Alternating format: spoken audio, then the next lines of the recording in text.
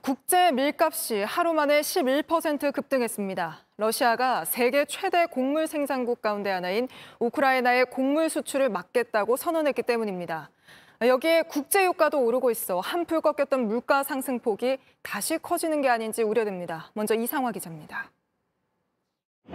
러시아군은 흑해를 끼고 있는 우크라이나의 곡물 수출 기지 오데사에 연일 공습을 가하고 있습니다. 전쟁 중이라도 흑해를 통한 우크라이나의 곡물 수출을 보장한다는 흑해 곡물 협정을 깬 데 이어 공격까지 한 겁니다. 이러자 국제 밀값은 하루 만에 11% 급등했습니다. 이런 오름세가 이어지면 서너 달 뒤 국내 가격에도 반영됩니다. 장기화가 된다면 국제 선물 시장에서 가격 강세에 좀 영향이 있을 수도 있다. 밀가루 값이 오르면 라면과 빵, 과자 등이 줄줄이 오를 수도 있습니다.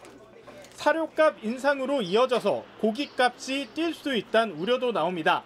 물가는 좀 영향을 최근에 많이 미치고 있는 건 사실이고요. 이뿐만이 아닙니다. 국제유가도 한 달 전보다 7%가량 올랐습니다. 사우디아라비아를 비롯한 주요 산유국이 생산량을 줄였기 때문입니다. 휘발유와 경유값도 바닥을 찍고 2주째 오르고 있습니다. 경유의 경우 한 달여 만에 전국 주유소 판매 가격이 1,400원을 넘었습니다. 올라가는 것 같아서 저 원래 5만 원씩밖에 안 넣었는데 이번에는 일부러 좀 7만 원 넣었거든요. 국제 곡물 가격과 유가가 계속 오르면 지난달 2%대로 둔화된 물가 상승률이 다시 들썩일 수 있다는 정만도 나옵니다. JTBC 이상화입니다.